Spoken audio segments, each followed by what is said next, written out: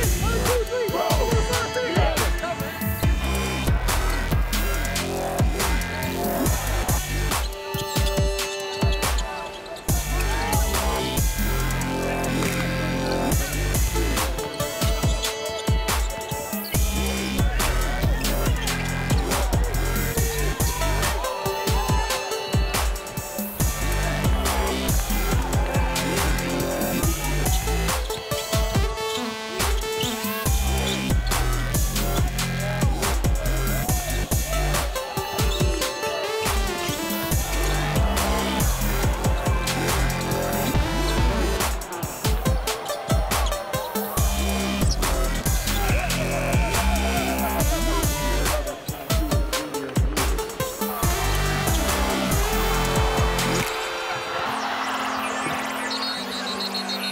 So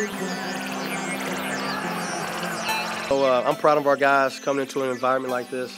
Seven new guys, and I, I, I haven't, you know, I want to know what my team's all about, and they're showing me, especially after tonight's game, how resilient they are. I was really afraid of the rebounding situation because Illinois State's a great offensive rebounding team.